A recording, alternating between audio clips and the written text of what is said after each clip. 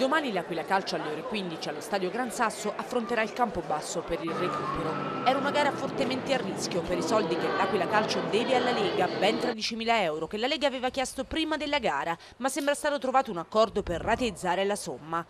Ieri la squadra, agli ordini del tecnico per Francesco Battistini, si è ritrovata allo Stadio Gran Sasso nonostante fosse una giornata di festa e nonostante i debiti con il comune per la fruizione dell'impianto sportivo, decisioni di chiusura dello stadio non sono state adottate e qui rientra anche il buon cuore di comune e dirigenti, ma anche questa situazione andrà risolta perché l'Aquila continua ad avere un debito con l'amministrazione di ben 135 mila euro e vanno pagati gli affitti settimanali del campo e anche le partite. E dopo i problemi con le utenze a casa dei calciatori e gli stipendi a squadra e staff che non sono stati ancora saldati, si è fermi, lo ricordiamo, a quattro mensilità, l'orizzonte se non si metterà mano al portafoglio appare sempre più nero perché è difficile pensare che si potrà andare avanti senza pagare il campo, senza pagare le utenze, senza pagare gli stipendi e con le ingiunzioni che arrivano.